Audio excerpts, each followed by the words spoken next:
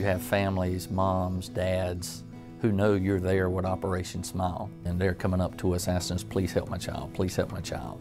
Ethicon has donated over the years to Operation Smile continuously roughly $2 million in product, in addition to financial donations as well. These children think about, how do I look? I don't want anybody to see me. I don't want, I want to hide myself. I don't want to go to school. We brought bubbles and stickers and the toys that we were able to provide were a very welcome distraction for the children.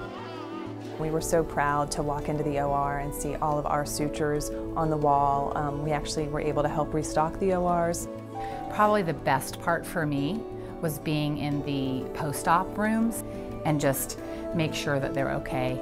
And then we got to take them back to their moms, which is amazing and just to see the tears of the mother and the father in some instances flowing down their cheeks, understanding that this was a life-changing um, surgery that just took place, uh, it, was, it was very neat to be a part of and glad I had that opportunity.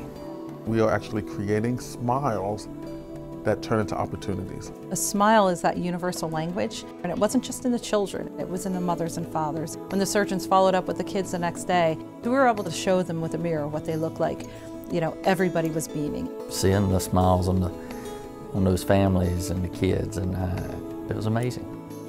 Just a different world and a different experience that if you can help, then you want to keep helping, you know.